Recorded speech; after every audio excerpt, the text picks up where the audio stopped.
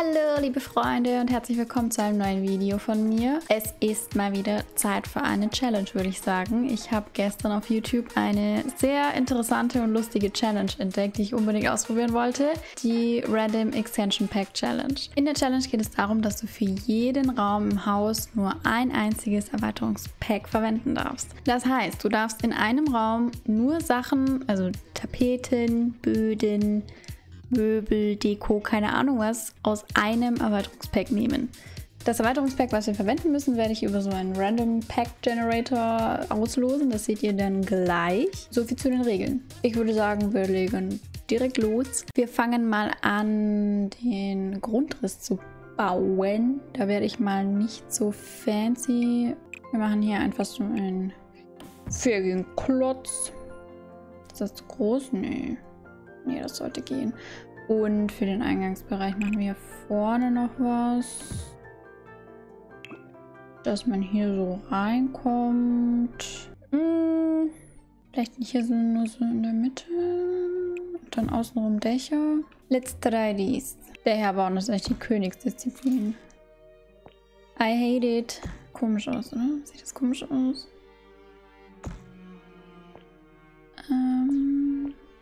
So, äh, das ist jetzt alles, was ich hinbekommen habe. Ich bin noch nicht ganz zufrieden mit den Dächern hier, aber wir lassen das jetzt. Äh, das Haus wird wahrscheinlich eh furchtbar aussehen, deswegen muss ich mich da, glaube ich, gar nicht so verkünsteln. So, jetzt geht's los, indem wir mal unser erstes Erweiterungspack für den Außenbereich aussuchen. Ich bin gespannt. Ich bin gespannt. Ich bin hier auf einer Seite, die ich in einem anderen äh, Video gesehen habe. Das Sims 4 Random Pack Generator. Hier kann man einfach sich ein Random Pack generieren lassen. Hu, hu, hu. Äh, hier gebe ich jetzt einfach mal die Nummer 1 ein und jetzt hoffen wir, dass ein vernünftiges Pack rauskommt. Generating, generating, generating. Body! Ja, ich glaube, da haben wir Glück. Ich glaube, da haben wir Glück. Ich glaube, da haben wir sogar sehr Glück. Gucken wir doch mal nach Wänden, die aus Wellness-Tag sind. So, da haben wir so Steinmauern. Was ist das? Ein Rechteckstreifen. Oh wow, okay. So, ich glaube, damit kann ich mich anfreunden. Ich bin mir noch nicht ganz sicher. Aber auf jeden Fall müssen wir mal die Dachfarbe ändern. Ja, dann nehmen wir jetzt einfach mal so Base Game. Die sieht nämlich furchtbar aus, finde ich. Ja, wir lassen das mal so. Gibt es Fenster von, von, von Wellness-Tag? Ja. Ach cool, da gibt es diese großen. Ja, sehr cool. Ja, ich finde es eigentlich gar nicht so schlecht. Was haben wir denn für Türen? Doppeltür, jenseits von Eden. Die sieht eigentlich auch ganz cool aus. Oh, sie ist aus Glas. Nun gut. Sollen wir jetzt hier den Eingangs... Ja, komm, das sieht besser aus. Machen wir hier den Eingangsbereich. Oh, das ist ja hübsch. Das ist ja hübsch. Das habe ich noch nie verwendet. Das verziert jetzt unseren Eingangsbereich hier können hier eigentlich noch so einen schönen Boden hinmachen. Oh, wow. Ich mag's. Da gibt es auch diesen Zaun hier. Finde ich eigentlich ganz cool. Ah, da gibt es diese coolen Wasserfälle. Oh, das wäre natürlich auch äh, pompös. Das finde ich cool. Ich sehe schon, das Haus wird von außen richtig cool aussehen. Und ihnen wahrscheinlich so furchtbar. Ja gut, ähm, dann würde ich sagen, so schlecht sieht es gar nicht aus, oder? Was meint ihr? Okay, nachdem das erste schon mal so gut lief, bin ich frohe Dinge, dass das nächste auch gut läuft. Aber jetzt äh, lasst uns erstmal hier so einen Grundriss reinbauen. Und zwar wird das hier das Bad. Hier machen wir so den Empfangsbereich. Beziehungsweise Eingangsbereich. Und dann machen wir hier einfach eine offene Wohn- und Boah, das Haus ist riesig. Ich glaube, wir brauchen keinen zweiten Stock. Ich glaube, wir brauchen keinen zweiten Stock. So, liebe Leute, ich habe jetzt nochmal das komplette Dach umgebaut. Ich habe das erste Stockwerk entfernt, denn sonst wäre das Haus riesig geworden. Und ja, so bin ich jetzt zufrieden. Gut. Ähm, ja, hier ist mal die Innenaufteilung. Also hier ist der Eingangsbereich. Hier wird eine Wohn-, Ess-, Küchenbereich. Dann haben wir hier ein Schlafzimmer, noch ein Schlafzimmer und das Badezimmer. Oder wir machen ein Büro und ein Schlafzimmer. Ja, wir machen ein Büro und ein Schlafzimmer. That's the plan. So, jetzt huschen wir schnell rüber und lassen uns... So, jetzt lassen wir uns ein neues Extension Pack äh, auslosen. Und dann dürfen wir uns aussuchen, welchen Raum wir damit dekorieren wollen. Bitte was Gutes. Tiny Living Stuff. Oh mein Gott. Ich, ich bin begeistert. Ich bin begeistert. Wir werden... Nein, das werden wir wieder zurückstellen. Wir werden... Tiny Living. Hm, hm, hm. Ich würde sagen, wir, richten damit das Badezimmer ein. Das äh, könnte, glaube ich, ganz gut funktionieren. Wir haben keine Böden und keine Tapeten. Das heißt, dann nehmen wir dann einfach von Standard. Aber wir haben auf jeden Fall Badmöbel, was jetzt nicht in jedem Pack mit dabei ist. Deshalb ähm, nutzen wir das doch mal aus, dass wir das gezogen haben. Eine Dusche oder eine Badewanne ist hier nicht dabei. Das heißt, da werden wir dann wahrscheinlich auch eine vom Base Game nehmen, würde ich sagen. Ich glaube, das ist schon erlaubt. Das ist so der Beistelltisch fürs Klo. Können die Zeitungen drauf. Dann haben wir sogar noch ein Bildchen. Ein Sofa im Badezimmer. Hat auch was, oder? Und dann brauchen wir noch so Default-Standardtüren. Dann nehmen wir am besten die hier. Die passen eigentlich ganz gut zu dem. Wir brauchen eine Dusche. Sonst ist das Bad nicht komplett. Sonst äh, können da keine Sims dran wohnen. Dann nehmen wir dann einfach... Ja, die hier. Das hier können wir noch als Badregal nehmen. Oh, der sieht ja cool aus. So, ich muss sagen, ich mag das Bad echt gerne. Ich hätte nicht gedacht, äh, dass das so hübsch wird. Aber ich bin echt begeistert. Kann man nicht sagen. Und auf zum nächsten. Daumen drücken, Daumen drücken, Daumen drücken, Daumen drücken, Daumen drücken. Get famous. Okay. Show me what you got. Werde berühmt. Ups. Oh wow, da gibt es ja einiges. Ähm, ich sehe schon mal Betten.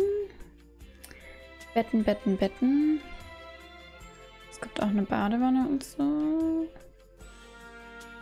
Eine Bar, Sofa. Gibt es einen Fernseher? Ja, komm, wir machen ein Schlafzimmer draus. Wir machen ein Schlafzimmer. Und zwar nehmen wir da das rechte Schlafzimmer. Ja.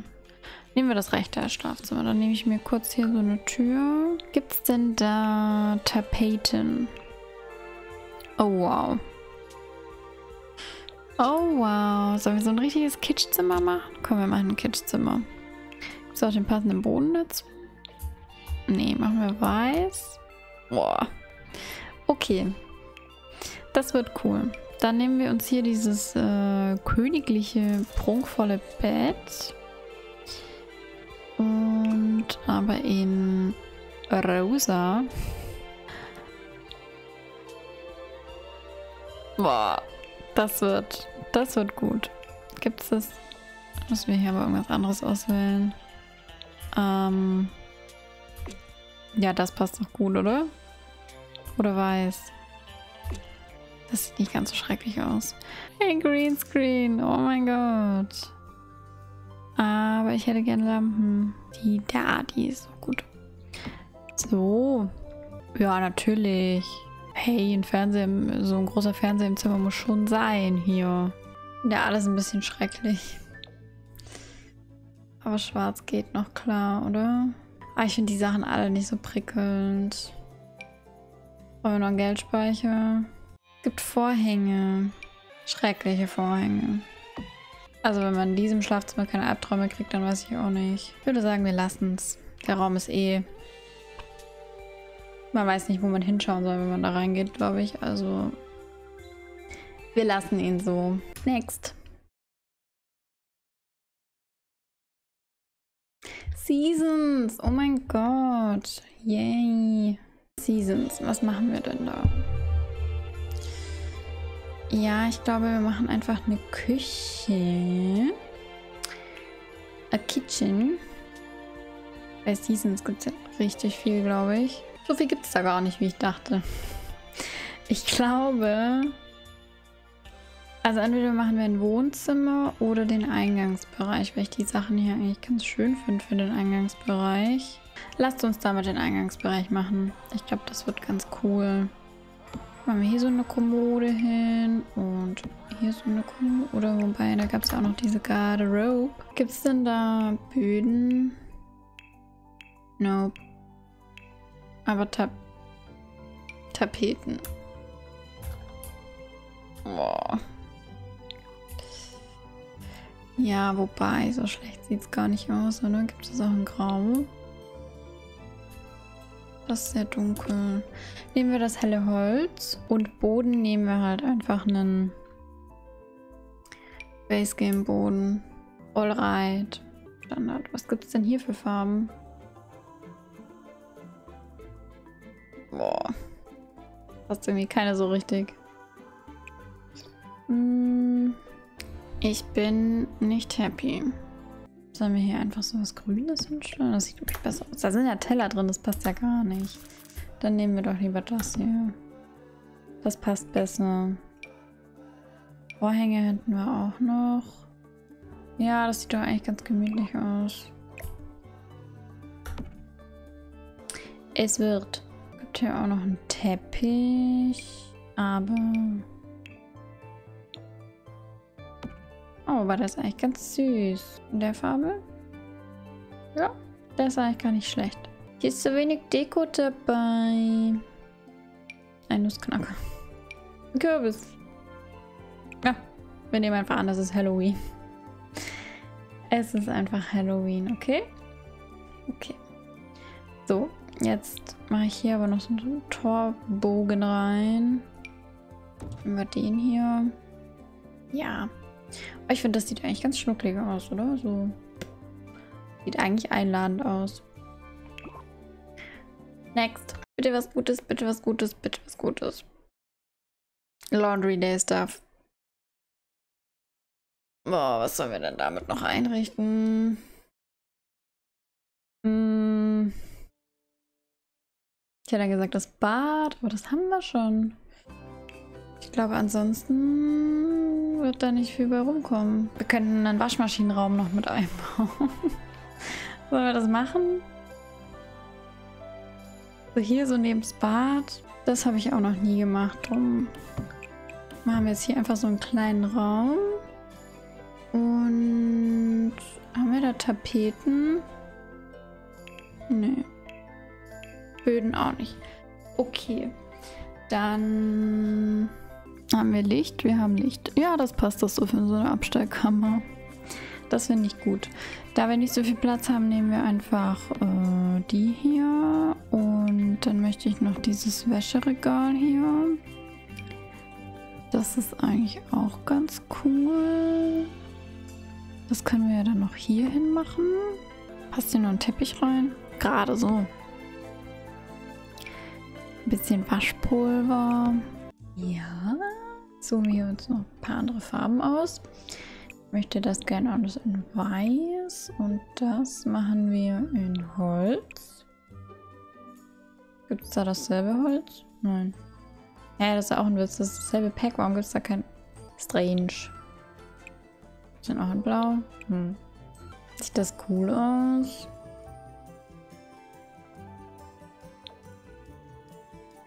Hä, das ist ein ganz anderes Weiß. Wollen die mich komplett verarschen? Oder? Sieht das nur so aus? Aber schwarz ist dasselbe. Vielleicht habe ich auch einen Knick in der Optik. Wer weiß das schon. Okay. Ah, hier gibt es noch eine Kerzenschüssel. Ja, komm. Besen können wir auch noch aufhängen. Das braucht man auch mal eine Abstellkammer. Und dann brauchen wir jetzt noch einen Boden. Oh, ich mag den Raum voll. Ich glaube, das mache ich jetzt immer. Ein Wäscheraum. Sieht cool aus. Sollen wir hier so eine blaue Tapete machen? Das sieht ganz cool aus. Oh, ich liebe den Raum. Ich glaube, das ist bis jetzt mein Lieblingsraum. Oh, wie cool. Und next. Oh, bitte was passendes fürs Wohnzimmer. Wir haben noch Wohnzimmer, Küche, Esszimmer und Büro. Island Living. Ja, wunderbärli. Damit können wir auf jeden Fall das Wohnzimmer machen. Und hier gibt es ja auch Böden. Und zwar sehr schöne Böden. Dann nehmen wir doch glatt den Holzboden hier in hell.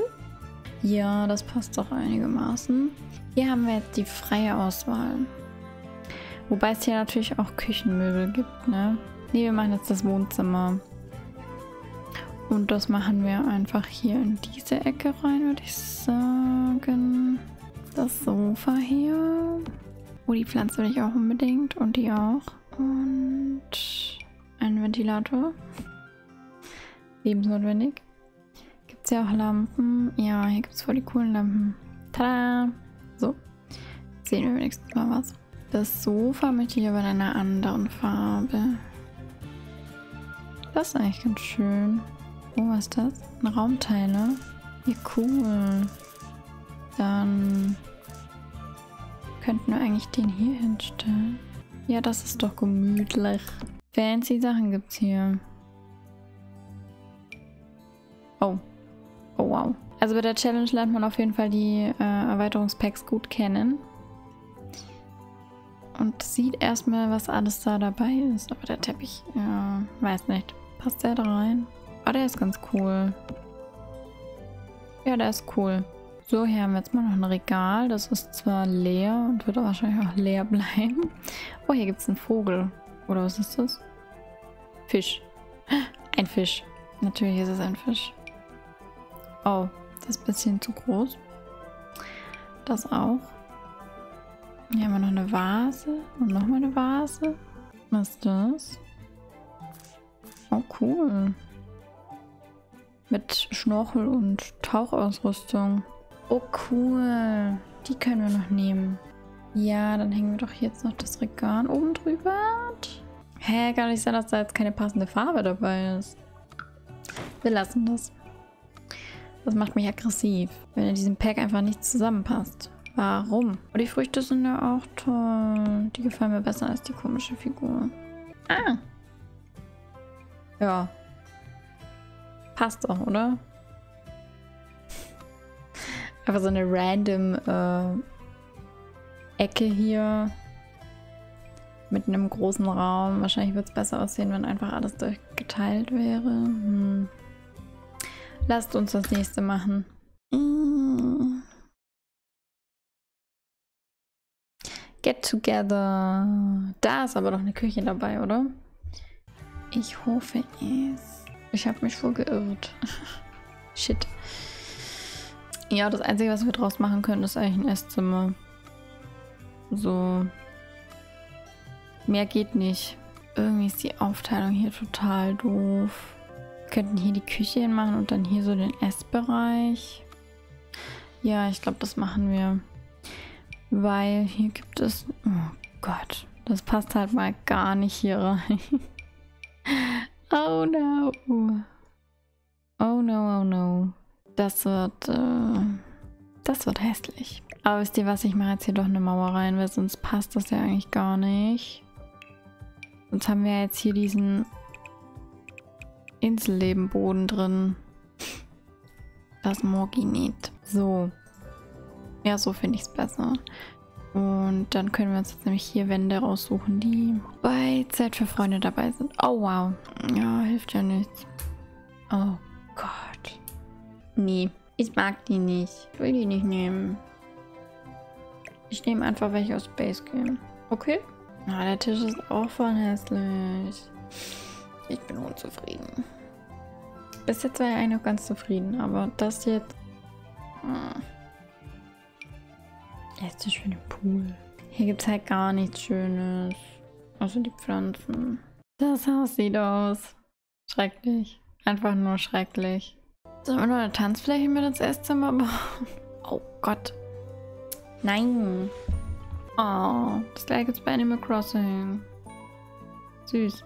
Ja, ist schon okay. So, hier noch Kerzenleuchter drauf. Kerzenleuchter machen alles besser. Was ist das denn? Wow. Hm. Ja, ich glaube, irgendwie besser wird's nicht. Jetzt haben wir hier mal noch normale Böden rein. Ich glaube, dann sieht es auch schon mal besser aus. Den hier? Welchen haben wir denn hier? Ja, doch, machen wir den rein. Und dann einfach eine random weiße Wand. Oh, nee. Das sieht doch ganz gut aus. Ja, damit kann ich leben. Es ist zwar irgendwie komisch, dass man hier der Eingangsbereich, dann kommt hier einfach der Essbereich, dann kommt hier das Wohnzimmer, wo halb leer ist und jetzt müssen wir hier eigentlich die Küche reinmachen. Final Pack, the kitchen. Ich bin gespannt, ob was rauskommt, womit wir wirklich eine Küche bauen können. Strangerville. Gibt's da Küchen? I don't know. Wir können auch noch ein Geheimlabor hier reinbauen. Nee, es gibt keine Küchen. Damit können wir keine Küche bauen. Wir müssen nochmal auslosen. Wir brauchen irgendwas, wo wir eine Küche bauen können. Island Living, das hatten wir schon. Das hatten wir schon. Backyard Stuff. Damit können wir keine Küche bauen. Let's try again. Vampires. Ich glaube, da gibt es eine Küche. Yes. Ja, wunderbar. Herd und so müssen wir dann halt wahrscheinlich den vom Base Game nehmen. Aber ich glaube, hier gibt es auch Böden. Ja, sogar recht schön. Oh Mann, die Tapete macht es wieder kaputt hier. Ah, die hat kein Muster. Dort die hat auch ein Muster. Ja gut. Das sieht noch einigermaßen süß aus. Ja, bleiben wir doch einfach bei grün. Das wird eine riesige Küche. Hier setzen wir dann einfach noch einen Ofen rein. Und dann brauchen wir auch noch... So finde ich es eigentlich ganz gut. Gibt es ja auch noch eine Lampe. Ein moderner Heiß Heißkörper, Heizkörper. Ja, der kommt hier auch rein. Warum nicht? Hier haben wir noch ein Schränkchen. Beautiful. Really beautiful. Eine große dekorative Urne. It's really decorative. Einfach so eine Urne in der Küche, warum nicht? Ein antiker Buchständer, das könnte doch auch so ein, so ein, so ein Kochbuch sein, wo da drin steht. Ich habe auch so einen Halter in der Küche stehen, also... Mh, hm, ja, viel mehr gibt es aber auch gar nicht, ne? Ein paar Bildchen hätten wir noch. Noch mehr Bildchen. Mir fehlt hier noch so ein bisschen Krimskrams. Waschbecken gibt's das. oh je. Kann ich das hier irgendwie so... Ja, das sieht doch voll modern aus. Wie, wie diese modernen Waschbecken, die da immer so oben rausgucken. Ne? Vorhänge, aber die machen wir nicht hin. Die sehen furchtbar aus. Und hier können wir noch einen Kerzenständer hinstellen. Und den Herd nehmen wir halt einfach aus dem Base Game. Da können wir ja den hier nehmen, der passt da ganz gut dazu. Ja, ansonsten gibt es hier nicht viel. Super. Sieht doch cool aus. Ich würde es, glaube ich, so lassen. Wow. Wir sind durch. Ich habe es mir ehrlich gesagt nicht so schwer vorgestellt. Also ist ganz schön äh, verzwickt teilweise, weil man ja nicht nicht in jedem Pack sind für jedes Zimmer passende Möbel dabei. Am besten gefällt mir eigentlich das Bad und der Waschraum. Den finde ich am schönsten. Die zwei Räume finde ich am schönsten. Welcher Raum gefällt euch am besten? Schreibt es in die Kommentare. Und ansonsten würde ich sagen, war es das mit dem Video. Ich hoffe, euch hat das Video gefallen. Falls dem so ist, gebt mir gerne einen Daumen nach oben und lasst auch gerne ein Abo da, würde ich mich sehr drüber freuen. Und ansonsten bis zum nächsten Mal. Ciao!